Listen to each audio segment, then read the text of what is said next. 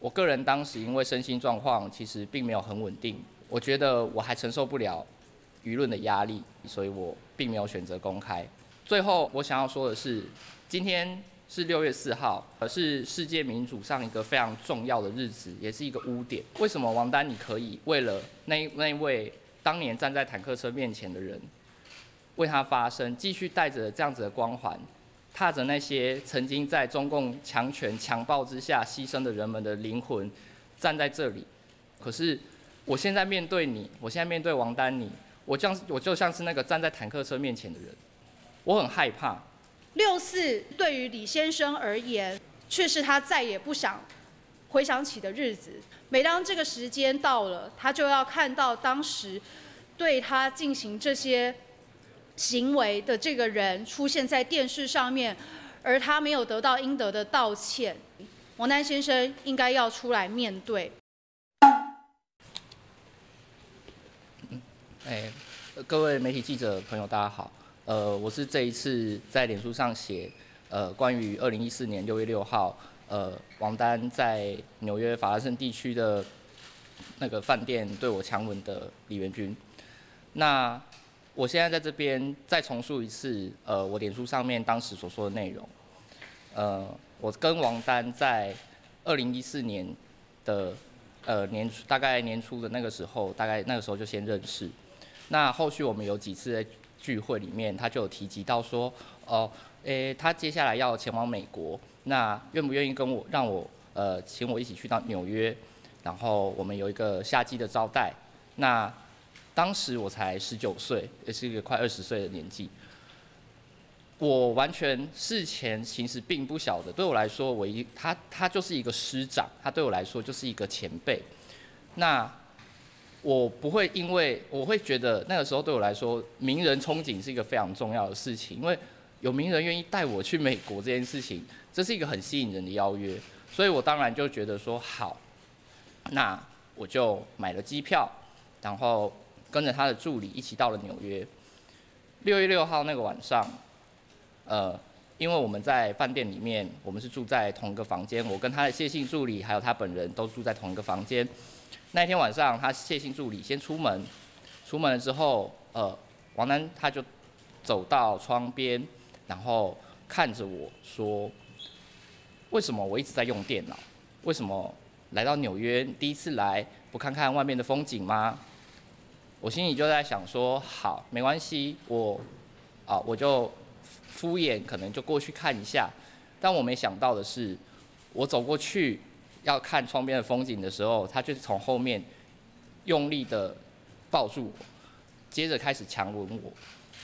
吻了之后呢，他就把我推到床上，然后继续强吻，甚至意图想要解开他自己身上的衣物。我当时其实非常非常的震惊跟害怕，因为我没有想到一个前辈、一个名人、一个政治可能或许过去是明星，他竟然会对我做出这样的事情。但我很害怕他接下来要对我做出其他更深入的事情，所以我跟他说，我一个临场反应，我跟他说，呃，老师，请你不要这样子，我刚动刚动完手术，我可能不方便，那可不可以老师先先不要？那王丹他确实收手了，可是我求助他的助理，我跟他说我很害怕，呃，我不知道为什么王丹要亲我，但他他的回应只有跟我说老师是在开玩笑，不要当真，他只是玩玩而已。但为什么他为什么我我这样子的一个求助可以被当作是开玩笑呢？然后接着他就开始在这。呃，一周多的时间，我在美国一周多的时间，他每天他时不时的就会开始用一些言语骚扰或是玩笑，甚至有有意无意的暗示我说今天晚上跟他一起睡啊，就是这样子的方式来去试图的呃，希望就是我可能希望我跟他发生关系之类的吧，对，但对我来说那一周多对我来说是一个非常害怕的时间。我必须要去敷，我必须要去掩饰我心中的害怕，我又不能让他察觉到我其实很想逃跑。我非常那个时刻，我非常想逃离美国，但是我孤身一人，我没有任何可以，我没有任何亲友在美国，我甚至语言不通，我根本就没有办法跟当地的警察报警。所以后来我就忍耐。那原原定其实是两周的行程，我后来跟老我后来跟王丹还有他的助理说，哦，因为我台湾有事情，呃，我想要提早离开，所以我后来就提早提早了大概十呃，我是在十五号的时候离开美国回到台湾的。那这件事情这样子后来之后，我回到台湾之后，我那个情绪才可以宣泄出来。我在美国我没办法哭，我找不到自己一个人时间哭，因为我跟他长时间绑在一起，我根本就没有办法找到一个时间说，哦，我要跟谁求助，我要我还要我还有谁可以求助？我在美国那个时候，网络其实 WiFi 也还没有非常的发达。呃，二零一四年，当然我那个时候到美国去，我第一件事情是，哇，我我要怎么我我要怎么有网络？我好不容易才连上我的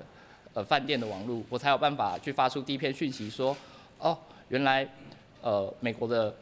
风景是这样子，啊，我也不能哭，我不可以在他面前哭，我不可能再躲到厕所里面哭，因为我跟他一起住，我甚至到了他加州的住所，那他的空间里面，我要怎么去宣泄我的情绪？所以我都不敢，我甚至在他家的时候，我躲在我自己的客房，我完全不敢出去。可以的话，我真的是不希望跟他一起独处，直到现在。我那个时候回来之后，我后来成为一个政治工作者，我后来成为呃林良军议员的助理。那在我后来的人生规划，我希望离开，我那时候打算离开议会时，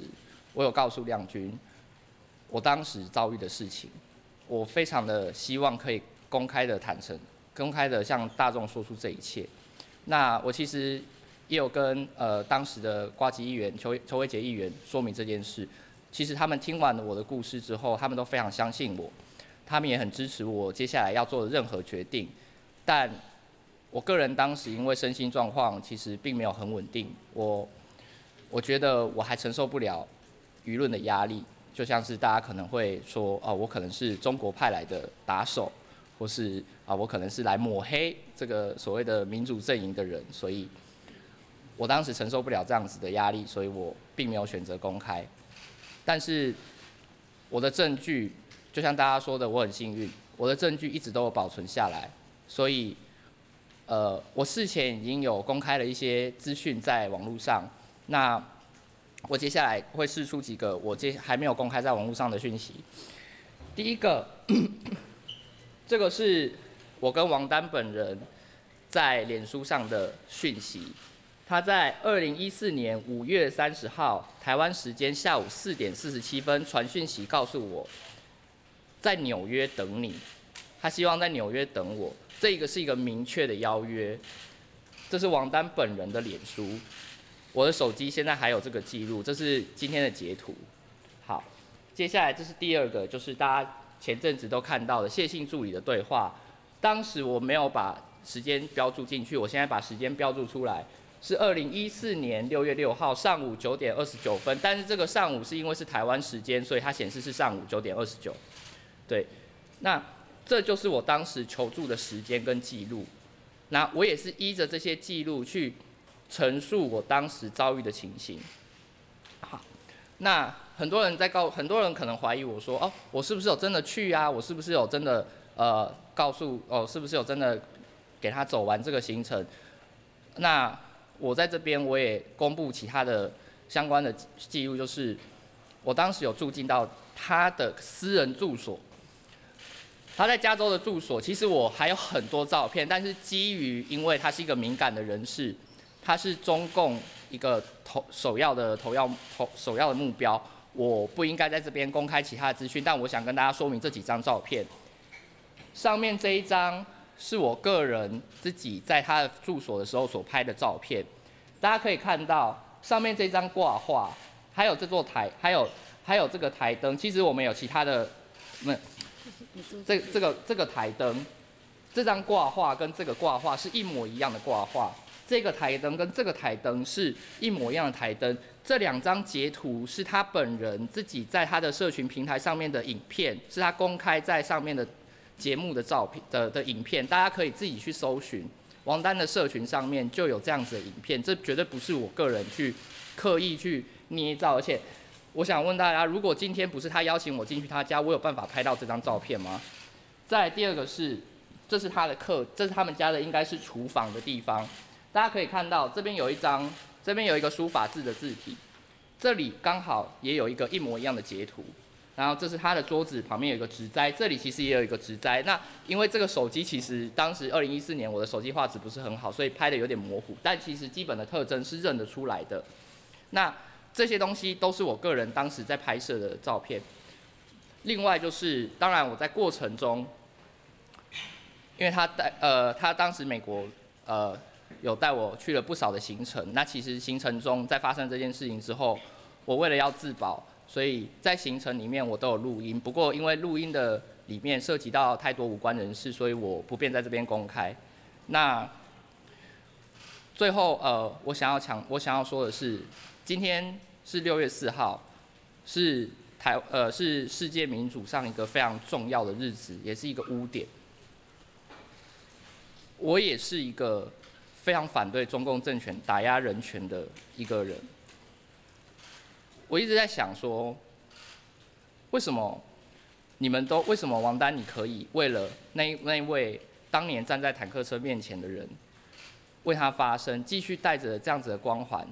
踏着那些曾经在中共强权强暴之下牺牲的人们的灵魂，站在这里，你可以看到他们的人权，你可以关注他们的人权，追求这些民主自由。可是，我现在面对你，我现在面对王丹你。我像我就像是那个站在坦克车面前的人，我很害怕，因为我觉得如果我一个不小心，我有可能就会被你这台坦克打死。你比我太有，你比我有太多的权势，你有太多的光环了，你的手甚至可以伸到呃政治或是学术圈里面对我进行打压，但是我只能告诉我自己，我不害怕，因为在现在这个时间。二零二三年了，大家都有看到，最近政治工作者非常多人在讲说，呃，在职场上的遭受不当的对待以及呃性骚扰的部分，这件事情对我来说启发很大。我很谢谢每一个站出来说出自己故事的人。虽然我听了听完这些故事，我也非常的难过，但我真的很谢谢大家愿意说出来。而且像现在最近民进党自己在处理这件事情的时候。他们其实是他们自己这样子的做法，让我给了我很大的勇气，因为他们明确的告诉这个社会，性骚扰、性霸凌、不当对待是不应该存在的。二零二三年了，我们在追求自由民主的社会，自由民主难道包含可以随便性骚扰、可以随便性骚扰、性侵，甚至猥亵、强迫这些行为的自由吗？我想要告诉王丹。你说你很忙，你说这跟你的记忆有落差，没关系，我我让你忙完。我先我在这边，呃，希望提出来，六月六号，如果六月六号之前你没有在社群上面明确的指出说你为你过去的行为，为你过去所欺负的欺负过，呃，可能骚扰过甚至侵害过的人道歉的话，六月六号我会。呃，带着我的证据直接向检方提告，我会提出这些证据，我会希望我的我的行动不会只是一个大家所谓的中国的打压或是中共的伎俩，这是一个明确的事实。好，谢谢。那么呃，今天 刚刚有提到说希望王丹先生在六月六号以前做回应哦，那今天也有呃律师陪同。那接下来如果没有得到正面的回应，以及王丹先生没有道歉的话，也会采取必要的法律措施。那我在这边还是要再一次强调，我跟我的团队一直都呃支持，也坚守所谓的民主自由价值。那王丹先生在过去对于这个呃中共的这些打压跟人权的侵害，他都表态的非常的明确。那但是我想哦。追求民主跟自由，这不单单只是面对中国的暴政以外，我们需要的是希望我们生活的环境，希望我们生活的国家都能够让每一个人平等、自由、不受侵犯。那所以我想，同样坚守民主自由的人士王丹先生，也应该要面对这个事实，出来面对。那我想再看到他，呃，这个昨天在。他自己的脸书上面来去否认，然后来去回避这件事情。其实老实说，我是感到非常的失望的哦。那呃也很希望说他可以出来面对。那呃我也看到有些网络上的人在指出说这是一些政治行动。哦，然后王丹先生也只说在六四之前爆出这个事情，大家就知道是什么意思了。我听到是觉得非常的心痛。六四。对于很多人来说，或许是一个追求民主自由的一个重要的纪念日，但是对于李先生而言，六四却是他再也不想回想起的日子，对他来说就是阴影跟恐惧。每当这个时间到了，他就要看到当时对他进行这些行为的这个人出现在电视上面，而他没有得到应得的道歉。那我觉得，这个社会我们追求自由、民主、公平、正义这件事情，王丹先生应该要出来面对，也要再次强调，这跟所谓的政治行动、政治攻击毫无关系。这个就是一个一般的人权，那也请他勇敢面对，勇敢站出来。那我们今天的说明哦。李先生的说明应该就到这边。那不知道各位媒体朋友有没有想要提问的？想问一下，这个六月六号应该是台湾时间还是美国时间？那现在人在美国。那第二个是追诉期方的这个问题。好，呃，追诉期的部分我们等下请律师回应哦。那六月六号是是呃，六月六号是是台湾的时间，对，六月六号台湾的时间，对，呃，六月六号过午夜之前。就是要跨六月六六月七号这个时间，对我我知道美国有时差，对，所以我我愿意等他，我都可以等九年了，我不不我不介意再多等个几天。那追诉期的部分，因为追诉期的部分可能会涉及到的不只是所谓的性骚扰，而是有机会落入强制性交的范围。那如果这样的话，追诉期是二十年，所以其实是还没有过的。还有其他媒体朋友要提问的吗？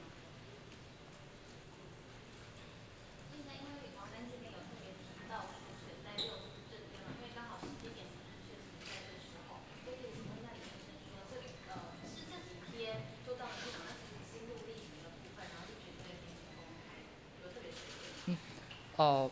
呃，这部分其实真的只是单纯的巧合，因为呃，大家都有看到我们呃，民进党内他们最近在处理党内的呃性骚扰跟不当对待、不当对待的事情，呃，接二连三的出来。其实对我来说，那才是我真正鼓舞我愿意站出来，呃，提出他当年做的行为的时间，并非只是因为，并非是说哦什么六月二号他们的纪念馆开幕，因为老实说。九年了，我这九年起来完全不敢看任何王丹的讯息，我甚至不知道六月二号原来那一天他们有一个纪念馆要开幕，所以这个发文时间完全只是一个巧合。那真正的勇气是台湾社会开始愿意站出来，更友善、更公开的讨论这件事情，并且并且愿意友善的回应跟对待每一个受伤的人。我觉得这才是真正让我想要发文，并且陈述当年这段过程的原因。还有其他？不好意思，再问那个强调李先是这样子讲的。是。王丹在脸书上否认。是。你讲的性骚扰这件事情。是。对，那你的回应？那还有就是王丹也说，他认为说他的认知跟他记忆，你们的指控跟他的巨大落差。就是对我来说，我觉得就是这是在避重就轻，因为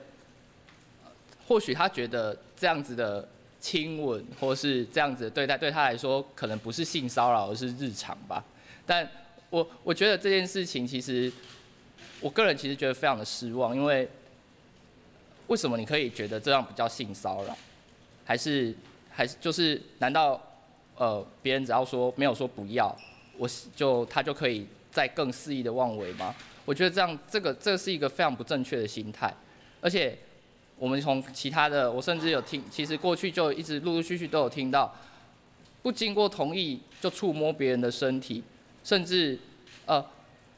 我都已经特，当然你跟我说不要，我当然已经告诉你好，我不要了。可是持续的骚扰，持续的以为觉得这样子的过程是一种对对于当事人，对于我这个受害人来说，难道会是一种荣幸吗？我觉得这这件事情其实对我来说这是非常恶心的事。那我其实。我还是对王丹来说，我真的觉得他这样回应对我来说非常的失望。我希望他可以正面回应我，不要再否认没有这样的事情。如果没有这样的事情，我为什么要向你当时的谢信助理求助？而你的谢信助理的回应，并不是告诉我说，哦，你在开玩，你在你认真的吗？那个呃，王丹可能不会做出这样的事吧？而是告诉我说，哈哈，没关系，呃，不要在意了，他只是玩玩而已。请问什么样叫玩玩？如果如果只是玩玩，那？意思就是说，你的助理其实也知道你你时常做这样的事情吗？这件事情，我我觉得希望这是大家要去审视它的一部分哦。对，以上。还有。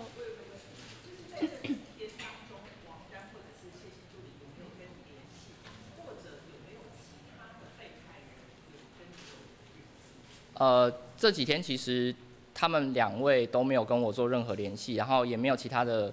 相关的被害人就是主动跟我联系，但我只有看到零星在网络上，因为我的文章分享出去之后，有人有做出一些回应，有人陈述，有人在留言说，哦，我曾经可能被王丹做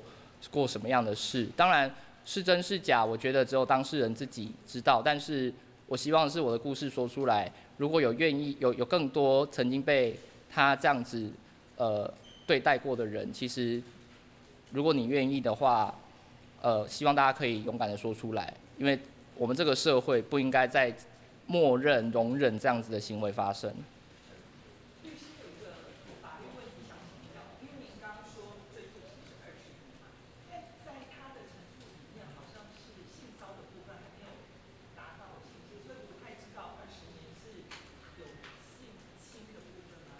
呃，对，因为就我们在事实的讨论上，其实。呃，李先生告诉我，就是就我所知，李先生所述的事实，其实是不只有亲吻，还包括王丹试图解开自己的衣裤，然后再把他推到床上等等的行为。那其实这样子，他的下一步在行为上来看，确实有可能是想要做性侵的动作。